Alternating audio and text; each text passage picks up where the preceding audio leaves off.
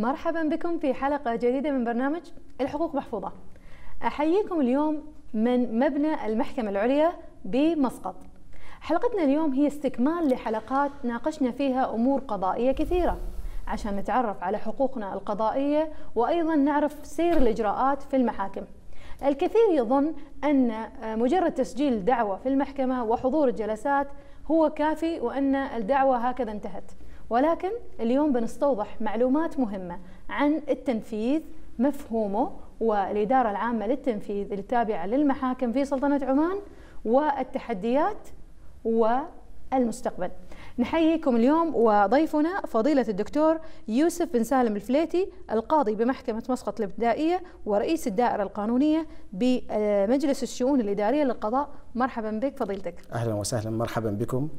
بسم الله الرحمن الرحيم قبل كل شيء والصلاة والسلام على أشرف المرسلين سيدنا محمد وعلى آله وصحبه وسلم.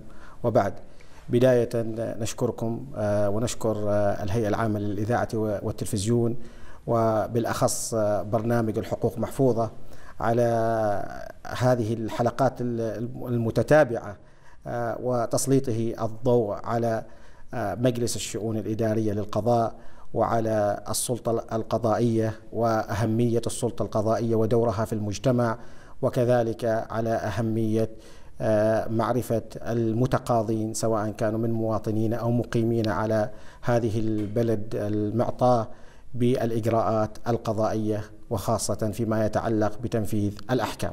مرحبا بك فضيلتك مرة أخرى. ويعني نشكركم على سعة صدركم.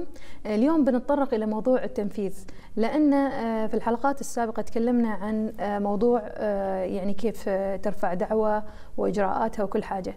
بعد ما ينطق القاضي بالحكم يعني تبدأ إجراءات جديدة. فكثيرين يعني يريدون يستوضحون بخصوص يعني صدور الحكم إيش هي الصيغة التنفيذية وهذا الإجراءات. نعم.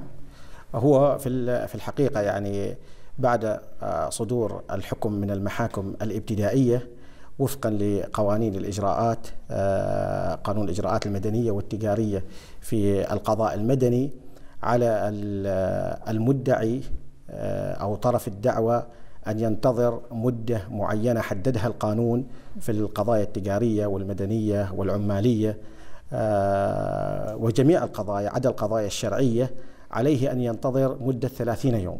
من صدور الحكم. وبعد الثلاثين يوم إذا لم يتم استئناف هذا الحكم أو الطعن فيه بأي شكل من أشكال الطعن في هذا الحكم فعليه أن يبادر بالذهاب إلى أمانة سر المحكمة ويتقدم بطلب الصيغة التنفيذية على هذا الحكم. وفي هذا المجال طبعا إذا ما كان الحكم هذا تم استئنافه أو الطعن عليه بنوع من أنواع الطعن فعلى الذي صدر لصالحه الحكم أن ينتظر لحين بت محكمة الاستئناف كذلك النظر في هذه الدعوة وبذلك أصبح الحكم نهائيا في هذه الحالة. وفور صدور الحكم في محكمة الاستئناف واعتباره حكما باعتباره حكما نهائيا هنا مباشرة يستطيع دون الانتظار أن يبادر صاحب الدعوة بطلب الصيغة التنفيذية لهذا الحكم ومن ثم الذهاب إلى قضاء التنفيذ لتنفيذ هذا الحكم. في حالة استثنائية طبعا ربما تأتي في هذا الحكم الذي يتم استئنافه وانتهاؤه من محكمة الاستئناف إذا ما طعن أحد أطراف الدعوة وعادة من يخسر الدعوة يتقدم بالطعن وهو الطريق الاستثنائي إلى المحكمة العليا. ولكن ليس بمجرد الطعن يتم وقف تنفيذ الحكم وإنما كذلك على الطاعن أن يتقدم بطلب وقف تنفيذ الحكم في المحكمة العليا. والمحكمة العليا تنظر هذا الطلب فإذا ما أصدرت قرارا بتق... بوقف تنفيذ الحكم فهنا يتم وقف تنفيذ الحكم حتى يتم البت في الطعن. آه هذه هي الإجراءات آه بشكل يعني متسلسل بدءا من صدور الحكم الابتدائي إلى حكم محكمة الاستئناف إلى آه، صدور قرار من محكمة آه، العليا إذا ما تم وقف آه، تنفيذ هذا الحكم الحين في الصيغة التنفيذية اللي ذكرتها نعم. فضيلتك نعم. وهي الحيثيات الحكم بالتفصيل نعم. ومعها ختم. نعم اللي نعم. على أساسها يقدر يروح وين بالضبط المحكوم نعم. لصالحه. نعم. هو استكمالا اللي بدأت فيه فيما يتعلق بالقضاء نحن قلنا جميع القضايا المدنية عدا القضاء الشرعي أو عفوا الدعاوى الشرعية. نعم. الدعاوى الشرعية هي فترة طلب التنفيذ فيها إذا ما كان الحكم نهائيا أو أو انتهائيا آه، بعد مرور 15 يوما من صدور الحكم. آه المدة أقصر المدة أقصر مراعاة لظروف الشخصية نعم نعم بالنسبة للقضاء للقضايا الشرعية. فبعد ما ينتهي ويتحصل ويتحصل الذي صدر الحكم لصالحه آه الصيغة التنفيذية آه مباشرة يذهب إلى قسم التنفيذ في المحكمة. ويتحول هنا من مدعي إلى طالب التنفيذ. آه تتغير آه، يعني الصفة. الصفة. أي مسمى الصفة. نعم. من المدعي إلى طالب التنفيذ. وكذلك المدعى عليه أو آه، الذي خسر الدعوة يتحول من مدعى عليه, عليه إلى المنفذ ضده. نعم. إلى المنفذ ضده. فيذهب إلى قسم التنفيذ ويفتح ملف آه، آخر بقسم التنفيذ ومن ثم تبدأ إجراءات تنفيذ الحكم في قسم التنفيذ بعد فتح هذا الملف. آه وينظرها أيضا قاضي؟ يعني نعم. فيه يعني آه، فيها قاضي المسألة. نعم نعم. هو بالنسبة لل للتقسيم الإداري آه، في المحاكم الإبتدائية تنقسم إلى عدد من الأقسام آه، بما فيها قسم التنفيذ. وقسم التنفيذ ملحق به عدد كافي من الموظفين. آه، يسموا محضري التنفيذ. آه، وكذلك يلحق بهذه الأقسام عدد كافي من القضاة. آه، هؤلاء القضاة يشرفون على أقسام التنفيذ وأعمال التنفيذ في المحاكم. فبالتالي بعدما يتقدم طالب التنفيذ بطلب تنفيذ الحكم الذي أصبح نهائيا وقابلا للتنفيذ يتقدم بطلب تنفيذ هذا الحكم آه، مشمولا بالصيغة التنفيذية التي آه، بموجبها آه، يقوم قاضي التنفيذ ببدء الإجراءات تنفيذ هذا الحكم. إيش هي هذه الإجراءات فضيلتك؟ نعم. طبعا هو قبل أن نتحدث عن الإجراءات التفصيلية في هذا المقام هو التنفيذ نوعان. ممكن نطلق أو نقسم التنفيذ نوعان. في تنفيذ اختياري وفي تنفيذ إجباري. التنفيذ الاختياري عادة يقوم آه، المنفذ ضده بتنفيذ الحكم آه، حتى وإن لم يقوم طالب التنفيذ باللجوء إلى أقسام التنفيذ. مباشرة بعد ما يصدر قضاء الموضوع الحكم وأصبح الحكم هذا نهائيا آه، يبادر مباشرة الخاسر في الدعوة بتنفيذ هذا الحكم. فمثلا إذا محكوم ضده بمبالغ نعم. يودعها للمحكمة. يبادر يبادر مباشرة. أي. يبادر مباشرة بإيداعها للمحكمة إذا ما تم فتح ملف تنفيذ أو حتى في خارج المحكمة. ولكن إذا ما تم اللجوء ما يفيد يعني إذا راح خارج نعم. المحكمة يثبت ما يفيد أنه هو يثبت قام نعم. بالتنفيذ نعم يثبت يثبت في المحكمة يثبت بشتى نعم بشتى أنواع الإثبات والإقرارات يعني الأخرى يعني نعم. فهذا فيما إذا كان هناك اختيارا في في في طريق التنفيذ فإذا ما تم اللجوء إلى القضاء وفتح ملف التنفيذ مباشرة يقوم آه، أو يقوم قسم التنفيذ نعم المحكمة بإعلان المنفذ ضده بالمبادرة بتنفيذ الحكم وإعطائه فترة زمنية حددت بموجب القوانين الإجرائية وهي مدة سبعة أيام. ف سبعة أيام من آه من تاريخ إعلانه. بالسند التنفيذي نعم. المشمول بالصيغة التنفيذية. بما في ذلك الإجازات محسوبة. آه نعم بما في ذلك الإجازات. ف يتم إعطائه السند التنفيذي مشمولا بإعلان آه الصادر من آه قسم آه التنفيذ. فإذا ما بادر المنفذ ضده بتنفيذ الحكم كذا انتهى التنفيذ وأغلق الملف بقرار قضائي بانتهاء التنفيذ. جميل. أما إذا لم يبادر المنفذ ضده بتنفيذ هذا الحكم هنا يبدأ طريق آخر في تنفيذ هذا الحكم وهو آه، اتخاذ الإجراءات القانونية وفقا للنصوص القانونية التي أوجدتها كذلك قوانين الإجراءات الجزائية أو عفوا قوانين الإجراءات المدنية والتجارية أو حتى القوانين الجزائية إذا ما كانت الدعوة أو القضية جزائية. فهنا مباشرة يبدأ القاضي باتخاذ التدابير أو الإجراءات القانونية الأخرى التي من بينها أو من ضمن هذه الإجراءات حبس المدين بالإكراه حتى تنفيذ الحكم.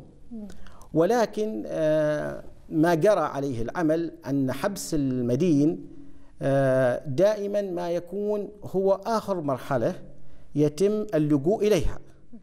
بمعنى أنه إذا آه، خاطب قاضي التنفيذ الجهات المعنية بتنفيذ هذا الحكم ولنضرب مثالا في ذلك.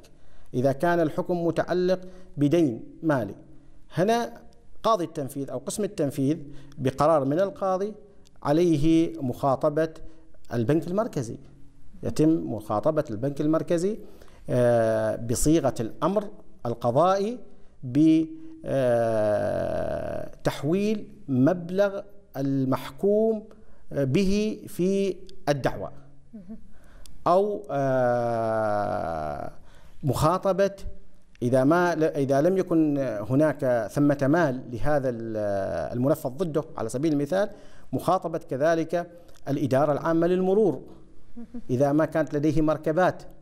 مخاطبة كذلك السجل العقاري. آه، في آه، منع من التصرف إذا ما كان لديه عقارات. مخاطبة كذلك السجل التجاري. إذا كان ما لديه كذلك بعض الأعمال التجارية مخاطبة سوق مسقط للأوراق المالية. إذا ما كانت لديه أوراق مال أسهم أو سندات. آه، إذا ما أيضا اقتضى الأمر منعه من السفر يمنع من السفر. آه، في هذه الحالة إذا وطبعا هنا إذا كان الشخص آه، طبيعيا إذا كان الشخص طبيعيا وتبين أن ليس لديه أموال في عدد الجهات التي تمت مخاطبة آه، المخاطبة فيها فهنا ربما القاضي يأمر وعادة يأمر بحبس المدين الحبس الإكراهي بموجب كذلك القانون آه، إلى أن يقوم المنفذ ضده بسداد المبلغ الذي عليه بموجب الحكم أو بتنفيذ هذا الحكم. أما إذا كان الشخص معنوي طبعا يتم اتخاذ الإجراءات الكفيلة كذلك بتنفيذ هذا الحكم واللجوء إلى إصدار أوامر حبس يكاد تصل إلى الرؤساء التنفيذيين أو المدراء التنفيذيين في للأشخاص المعنويين. هنا الأشخاص المعنويين مقصود منهم الشركات يعني؟ نعم المقصود بهم التجار. سواء كان تاجر فرد طبيعي أو المقصود بهم الشركات الأخرى سواء كانت آه، شركة شركة آه، توصية. هنا يتم آه، مخاطبة أو إلزام الموصي الإداري وليس الشريك الموصي عفوا الشريك الإداري التضامن كذلك المسؤول عن عن عن, عن الشركة سواء الشركة كذلك شركة آه، شركة أموال أو شركة أشخاص. شركة الأموال يتم أيضا مخاطبة الممثلين القانونيين. فيها بإلزامهم بالتوقيع. والمفوضين بالتوقيع إذا كانت شركات أموال بتنفيذ آه، تلك الأحكام. الحين عاد بندخل في الأسئلة العملية في بعض نعم. الأسئلة نعم. متعلقة بالتنفيذ على الأشخاص وفي التنفيذ على الشخصيات الاعتبارية نعم. بالنسبة للتنفيذ على الأشخاص في ثلاثة أسئلة السؤال الأول يعني أوقات آه، في الدعوة الأصلية هي كانت آه، في المحكوم ضده كان لا يوجد له عنوان مثلا فصدر نعم. الحكم عنه يعني بالإعلان بالنشر كان نعم. الإجراءات اللي فيه فبالتالي هو أيضا ما عنده عنوان في التنفيذ نعم. علشان يبلغون عنه نعم. والسؤال الثاني إذا كان لم يتم الوصول إليه هذه الحالتين يعني. نعم هو آه، سؤال جيد آه، في الحقيقة وننتهز نحن فرصة هذا اللقاء كذلك لنوجه رسالة إلى كافة المتقاضين آه، سواء كانوا أفراد أو آه، كانوا تجار.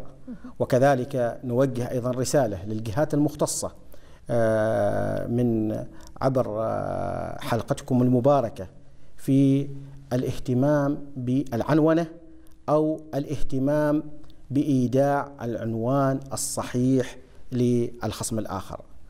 في الحقيقة ما تواجهه المحاكم كافة سواء على مختلف درجاتها وعلى مختلف أنواعها مشكلة العناوين.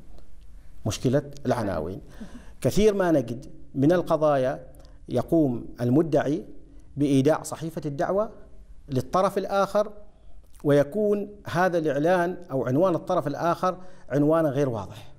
عنوان غير واضح. اليوم آه، بفضل الله سبحانه وتعالى وفضل صاحب الجلالة والحكومة الرشيدة اتسعت الرقعة العمرانية في البلد. فما مثل أول يعني كانت القرى بسيطة وكل واحد يعرف وكل الثاني. واحد يعرف الثاني. نعم. اليوم محضر الإعلان هذا الموظف لما يأتيه تأتيه دعوة ويقال إن زيد من زيد الفلاني يسكن في ولاية السيب على سبيل المثال في منطقة الخوض. الخوض واسعة. صحيح. الخوض فيها تقسيمات فيها شوارع فيها سكك فيها أرقام. فما يعني نجده نحن من صعوبة مسألة وضوح العناوين. وسبب عدم وضوح العناوين يكون عامل رئيسي في تأخير البت في الدعوة أو تأخير كذلك تنفيذ الأحكام. لأنه لا تنعقد الخصومة سواء كانت في الدعوة الموضوعية أو في دعوة تنفيذ إذا لم يتم آه، أو لم يكن هناك إعلانا صحيح للطرف الآخر. فلم أكن مبالغا. إن قلت أن بما نسبة 40% من القضايا المعروضة على كافة المحاكم نحن نجد فيها إشكالا في العناوين. آه، كذلك أنا قلت آه، المناشدة أيضا للجهات المعنية. نحن نجد أيضا الجهات المعنية المتعلقة بمسألة العنونة. نجد في كثير من المناطق تخلو من عنونة. صحيح. فيبقى الصراع هنا. المدعي يقول أنا اليوم سجلت قيدت الدعوة وانتظرت أمدا لا بأس فيه للبت في دعواي. صحيح. أو تقدمت إلى قسم التنفيذ وكذلك آه، يعني هناك أمد من الوقت لتنفيذ هذا الحكم. والمحكمة في صراع في صراع البحث عن المدعى عليه أو البحث عن المنفذ ضده. صحيح. هو لجأ إلى القضاء والقضاء هو ملاذ للكافة. فنحاول نحن بكافة الطرق أن نبحث عن الآخرين بينما أنه هذا العبء ليس عبء المحاكم وليس عبء المجلس الشؤون الإدارية للقضاء وإنما هو عبء المتقاضين أو عبء المنف طالبي التنفيذ. نعم. ومع ذلك أتت التوجيهات من معالي الشيخ آه، إسحاق البوسعيد رئيس المحكمة العليا رئيس مجلس الشؤون الإدارية الموقر بالتعاون وبذل كافة الجهود فيما يتعلق بهذه المسائل لكي لا تتعطل الحقوق، لكن نحن حقيقة نشاهد وربما أنا أسهبت في هذا المجال لأنها وجدت وجدت فرصة أن أطالب المتقاضين والجهات بالتعاون مع المحاكم بإعطاء العناوين الصحيحة فيما يتعلق بتنفيذ الأحكام أو فيما يتعلق بالدعاوى فإذا فضيلتك ما في عنوان معناته سيعلن بالنشر أيضا كما صار في الدعوة الأصلية صح؟ بالضبط أيوة. إذا لم يكن هناك إعلان كذلك قاضي التنفيذ يأمر بإعلان الفرد الطبيعي أو حتى الشخص المعنوي بنشره عبر الوسائل أو حسب ما أراد القانون. نعم. السؤال الثاني اللي يتعلق بتنفيذ على الأشخاص الطبيعيين هو آه، مخاطبة الجهات. ذكرتم فضيلتك عدة جهات نعم. اللي يتم مخاطبتها. هل يتم مخاطبتها دفعة واحدة ولا بالتدريج؟ يعني مرة نجرب مع الإسكان إذا حصلنا شيء نجرب مع البنك المركزي نجرب مع سوق المال نعم. ولا آه، إيش الطريقة؟ لا هو تتم المخاطبة دفعة واحدة. دفعة عدا دفعة واحدة عدا الحبس عدا الحبس. وذلك للإسراع. صحيح. مباشرة تتم المخاطبة دفعة واحدة لكافة الجهات. نعم. للمبادرة في تنفيذ الحكم. وإذا جاءت الجهات وردت ايجابيا يعني سبحان الله أوقات المحكوم آه، ضده هذا نعم. ما شاء الله عنده إمكانيات فردت ردود إيجابية من عدة جهات يعني الإسكان قالوا لنا إنه له ممتلكات عقارية والشرطة ذكرت إنه له سيارات مسجلة مرهونة وغير مرهونة وهكذا سوق المال وغيره نعم. إذا كلهم ردوا رد إيجابي وقيمة المبلغ المطلوب دفعه أقل فكيف يتم التعامل مع هذا نعم. الموقف؟ هو هو هو بالنسبة للسند التنفيذي أو للدعوة التنفيذية هي يختلف الإجراء فيها أو التعامل فيها بحسبان الطبيعة.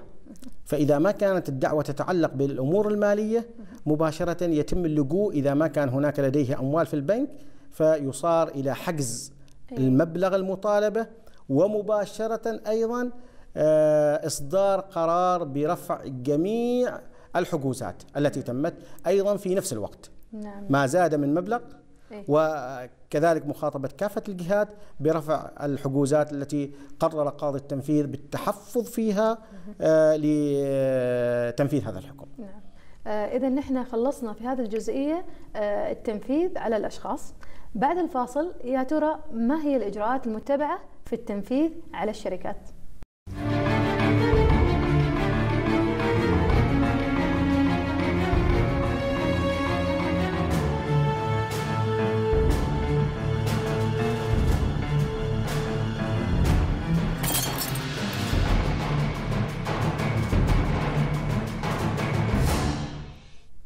عدنا إليكم ومعنا ضيفنا فضيلة الدكتور يوسف بن سالم الفليتي القاضي بمحكمة مسقط الابتدائية ورئيس الدائرة القانونية بمجلس الشؤون الإدارية للقضاء وحديثنا اليوم عن التنفيذ. آه، قبل الفاصل كان سؤالنا آه، فضيلتك آه، عن التنفيذ على الشخصيات الاعتبارية. طبعا في شركات مساهمة في شركات من أنواع اللي ذكرتها مساهمة ولا محدودة المسؤولية وغيرها من الشركات. والتنفيذ يكون في الشخصية الاعتبارية على المفوضين بالتوقيع أو من يمثلونها قانونا نعم. فصراحة ما تلوح طبعا آه، طبيعي أن الواحد المحكوم لصالحه أنه يطلب آه، حقوقه نعم. هذا شيء طبيعي نعم. ولكن آه، يتم يعني إجراءات التنفيذ من بينها الضبط والإحضار أو يكون إعلان في جريدة صار نعم. فبالتالي هؤلاء الأشخاص لاحظوا أنه لدى مغادرتهم البلاد على سبيل المثال بالوسائل يعني منافذ نعم المتنوعه نعم نعم. يلاحظوا إنه يوجد يتفاجئوا إنه في عليهم حكم. نعم. فكيف يتم التعامل معهم؟ نعم. هو بالنسبة أيضا التنفيذ الأشخاص الطبيعيين أو الاعتبار عفوا الاعتباريين بالنسبة للشركات آه، هي ذات الإجراءات التي يتخذها قاضي التنفيذ بالنسبة للأشخاص آه، الطبيعيين أو الأفراد. آه، لا يتم اللجوء إلى مسألة إصدار قرارات آه، الحبس آه، الإكراهي لتنفيذ هذه الأحكام. وإنما يتم كذلك مخاطبة الجهات الأخرى المتعلقة مثل ما ذكرنا بسوق الأموال أو البنك المركزي أو الجهات التي شرحناها سابقا. ولكن آه، طالما أنت سألتي هذا السؤال أيضا من المناسب أن ننوه للمشاهدين الكرام وكذلك للمتقاضين أن ما يحصل في التسلسل آه، القضائي بالنسبة للدعاوى آه، من الابتدائية إلى الاستئناف يعتبر الحكم الاستئناف حكما نهائيا. فيقوم المتضرر من هذا الحكم بالطعن عليه في المحكمة العليا مع طلب وقف تنفيذ هذا الحكم. تستجيب المحكمة العليا للاعتبارات التي تراها. وتصدر وقفا بتنفيذ هذا الحكم لحين البت في الطعن. ما يحصل أن يتم البت في الطعن وبعد الانتهاء من البت في الطعن مباشرة آه، يذهب حسب النتيجة, حسب النتيجة إذا خاصة إذا ما رفض الطعن وأصبح الحكم نهائيا باتا يلجأ طالب التنفيذ اللي هو تحول من المدعي إلى طالب التنفيذ إلى قسم التنفيذ لتنفيذ هذا الحكم. اليوم لتنفيذ الثاني يعني. اليوم الثاني. نعم. فلأنه أصبح الحكم خلاص نهائي. صحيح. فمباشرة آه، يقوم قاضي التنفيذ باتخاذ الإجراءات القانونية التي ذكرناها. ما يحصل أن الطرف الآخر هو يعني لديه معلومات بأن الحكم تم وقفه من المحكمة العليا. وكما تعلمون أن المحكمة العليا آه، من يقوم بمتابعة آه، سير إجراءات الدعاوى فيها محامين بحكم القانون وليسوا أفراد أو أشخاص آه، معنويين تابعين للشركة أيوه. محامين. أحيانا نحن حقيقة ما ما ما, ما نريد أيضا يعني ننسب اللوم على أحد. ولكن هذا واقع. صحيح. أنه المحكمة العليا تنتهي من الطعن بالرفض برفض هذا الطعن. ولا تكون هناك متابعة مستمرة. لا تكون هناك متابعة مستمرة من قبل أطراف الدعوة.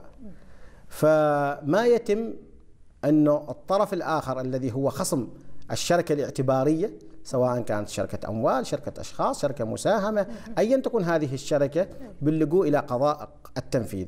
قاضي التنفيذ مباشرة بيستكمل الإجراءات التي بدأها بعد صدور الحكم الاستئنافي لماذا؟ لأنه هو بعد ما صدر الحكم الاستئنافي بحكم القانون أن الحكم هنا نهائي صح. وبالتالي الذي صدر لصالحه الحكم ذهب إلى قضاء التنفيذ وفتح ملف فتحول آه، طالب تنفيذ والشخص الآخر الاعتباري منفذ ضده وبدأت الإجراءات صدق.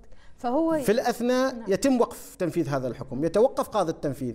بعد انتهاء الطعن يبدأ قاضي من حيث يلجأ انتهى. من حيث انتهى. أي وين متوقف يواصل. يواصل بالإعلان وبالمخاطبات. أيه. فهنا أحيانا حقيقة الأمر تكون نوعا ما من إن صح التعبير من الغيبة للمنفذ ضده آه، بما صار إليه قرار المحكمة العليا. نعم. ففورا يبدأ اجراءات التنفيذ. بالموقف اللي هو انه هو في المنافذ ايا كان في المنافذ وهذا موقف المنافذ. إيه. أيضا لا يتم إلا تأكدي إنه بعد آه، استباق الإجراءات الأخرى التي يقوم بها قاضي التنفيذ من مخاطبات آه، البنك المركزي والجهات الأخرى اذا إيه. رسالتنا للمتابعين الكرام إنه في الشخصيات الاعتبارية الحرص على متابعة قضاياكم نعم. إذا كانت موكلة إلى محامين نعم. ومتابعة أو الحرص بإبلاغ محامينكم أنه آه، أول ما يصدر أي حكم في تنفيذ أو في وقف تنفيذ وبعدين صدر في حكم نهائي بالضبط إبلاغنا فورا عشان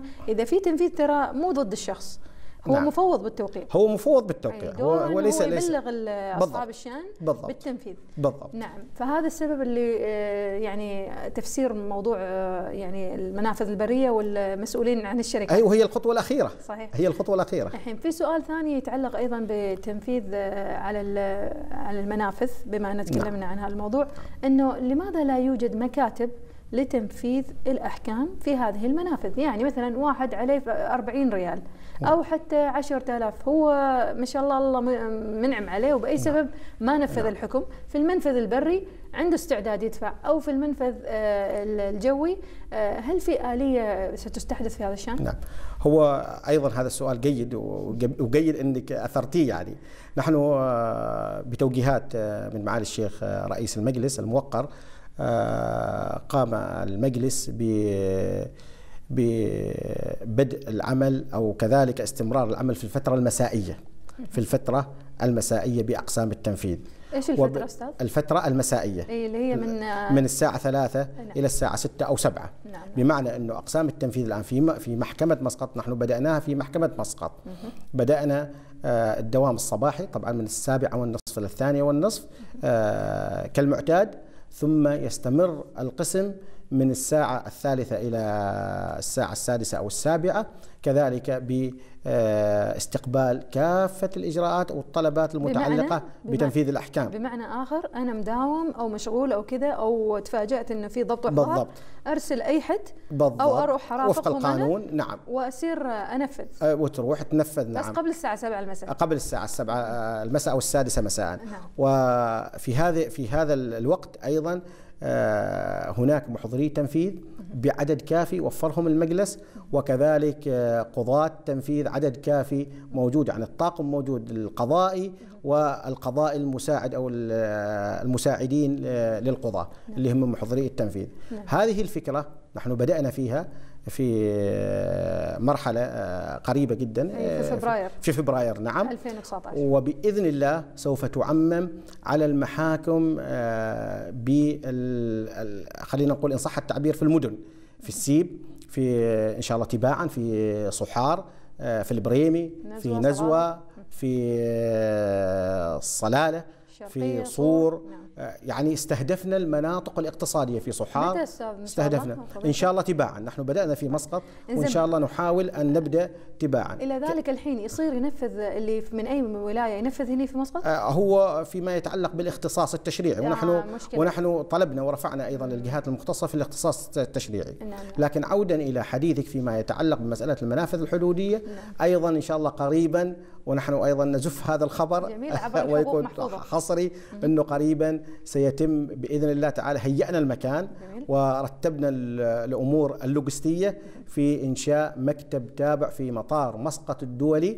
وبقية المنافذ الحدودية والمنافذ الدولية أن يكون هناك موظفي تنفيذ محضري تنفيذ كذلك يتعاطون مع كافة القرارات التنفيذ المتعلقة بالتنفيذ في المطار ويكون الدوام كذلك في فترة 24 ساعة أحييكم. بمعنى. صباحا مساء 24 ساعة نعم. وإن شاء الله سيرى النور قريبا بإذن الله تعالى معظم الأمور اللوجستية جاهزة إن شاء الله اما في مسقط بدأنا خلاص نعم أتذكر أن إحنا في 2017 آه، يعني سوينا حلقة في حقوق محفوظة بهذا الخصوص نعم. ونشكر جهودكم في تلبية هذا الأمر الهام للمتقاضين. بارك الله آه، هذا واجب الوقت مر سريعا وفي أسئلة كثيرة لكن أحاول أختصرها قدر الإمكان في هذا العجالة إن نتكلم عن آه، ال- الأخبار الزينة مو بس آه، منافذ التنفيذ نعم. بل أيضا عندكم نظام إلكتروني. نعم أيوه فنتكلم عن النظام الالكتروني. نعم هو بالنسبة للنظام الإلكتروني نحن في الحقيقة يعني المجلس يعني آه، حاله حال الوحدات الإدارية للدولة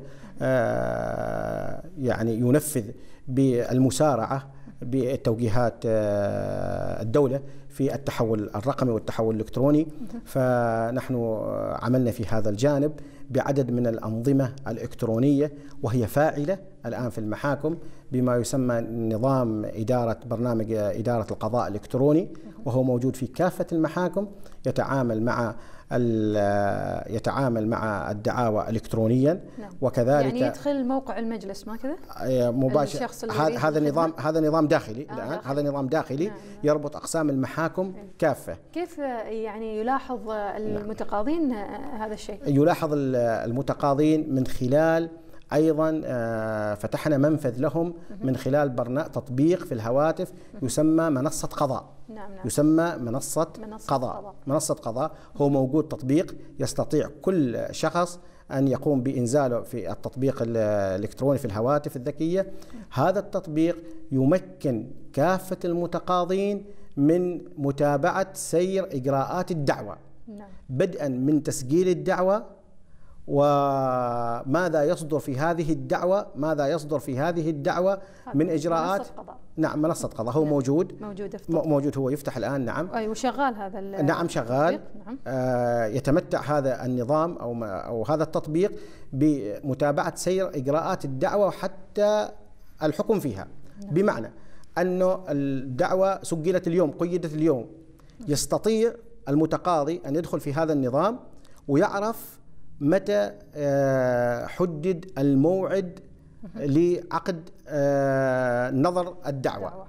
وكذلك يعرف الغرفة القضائية المخصصة له. جميل. والوقت ووقت ووقت انعقاد الخصومة. جميل. آه كذلك يستطيع من خلال هذا التتبع معرفة ماذا يتم في الدعوة. بمعنى أن بالضبط بمعنى أن الدعوة انعقدت اليوم. أصدر القاضي قرار. صحيح. هذا القاضي بحجز الدعوة للحكم أو ال- ندب خبير، ندب خبير أو طلب خصم أو أي قرار قضائي. صحيح. مباشرة يستطيع صاحب الدعوة يعرف هذا القرار من خلال النظام ويعرف متى أجلت. بما في ذلك التنفيذ هنا موجود؟ بما في ذلك التنفيذ. جميل. بما في ذلك التنفيذ أيضا آه، هذا يعني إضافة إلى برنامج إدارة القضاء الإلكتروني تطبيق منصة قضاء معنا كذلك إدارة برنامج التنفيذ الإلكتروني. وبدأنا كذلك في عدد من المحاكم الآن موجود. وكل برنامج سواء برنامج إدارة القضايا أو برنامج التنفيذ الإلكتروني بالنسبة للبرامج الداخلية لتسهل عمل خدمات وسرعة تداول الملفات بين القضاة والموظفين أتحنا مجال للمتقاضين من خلال هذا التطبيق لمعرفة ماذا يتم في سير التنفيذ أو ماذا يتم في سير الدعوة. طبعا بالنسبة للدعاوى اكتمل في جميع المحاكم. عدا المحكمة العليا نحن إن شاء الله خلال هذه الأيام سيتم أيضا كذلك آه الانتهاء منه. أما بالنسبة للتنفيذ في عدد من المحاكم تم تطبيقه وفي منصة قضاء موجود التطبيق فالمحكمة التي يوجد وتم تفعيل نظام برنامج تنفيذ إلكتروني يستطيع آه، المنفذ ضده أو طالب التنفيذ معرفة آه، ماذا تم في التنفيذ أول بأول. نعم نعم والرجوع نعم. إليها بسهولة والرجوع إليها بسهولة نعم. نعم آه، أنا بختم بشيء أخير اللي هو نساعد فيه الناس لأنه هم ما بين محامينهم وما بين الجهة القضائية يوجد ما يسمى الاستشكال نعم. في القضايا لا نعم. نوضح للناس إيش فكرة الاستشكال ويعني نعم. وجهة نظر هو عادة يعني بعد ما يصدر الحكم ويتم اللجوء إلى قضاء التنفيذ لتنفيذ هذا الحكم. آه، تظهر هناك آه، مواد خلينا نقول إن صح التعبير مواد قانونية تمنع تنفيذ هذا الحكم. فعلى آه، على المنفذ ضده أن يتقدم إلى قضاء التنفيذ بالاستشكال للقاضي ان أن هناك امرا حاله من تنفيذ الحكم. فهذا الاستشكال يتم عرضه إلى قاضي التنفيذ ومن يقدر ذلك؟ القانون وقاضي التنفيذ.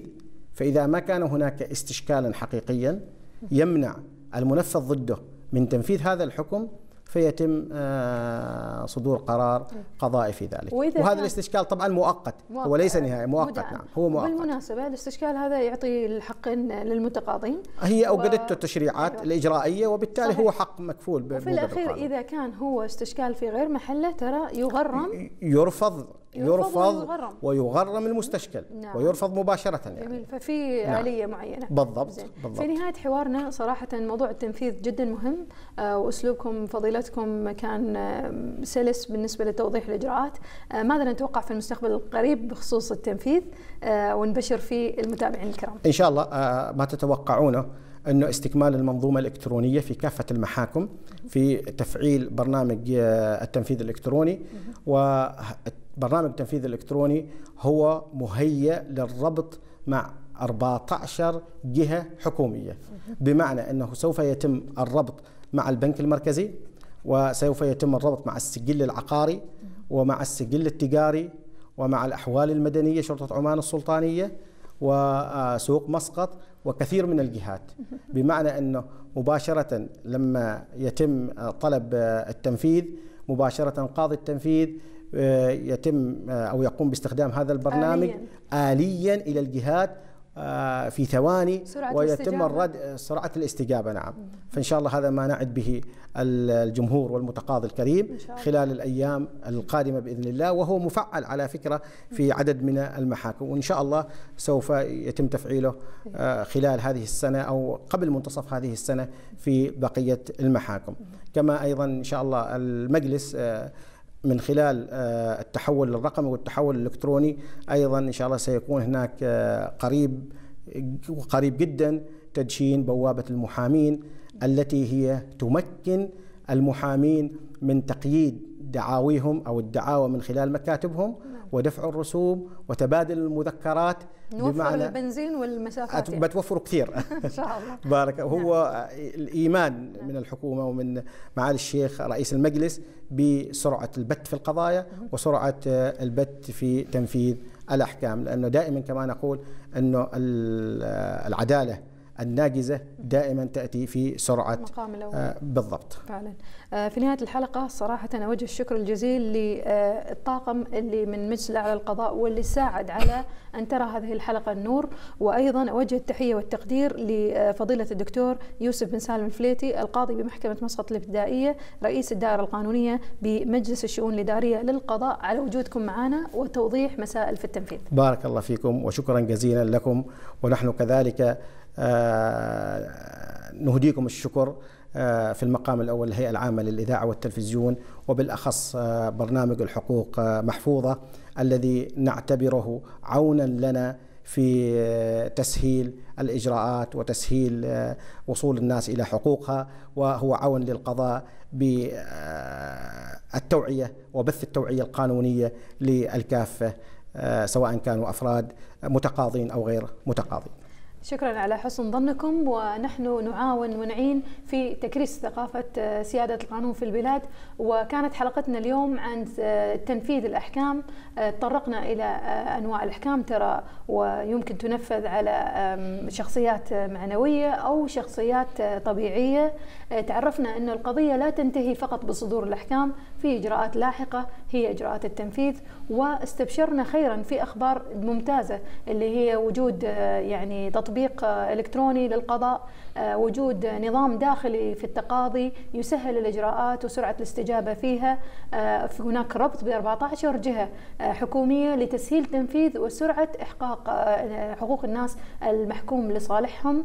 وأيضا البشارة أنه في مسقط على الأقل سيكون متاحا منفذ للتنفيذ متاح في الفترة المسائية ما بعد الدوام من الساعة الثلاثة إلى الساعة السادسة أو السابعة مساء.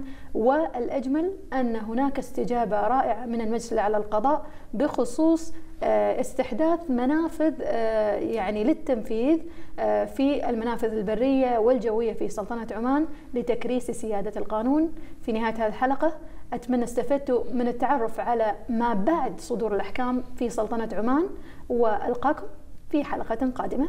مع السلامة.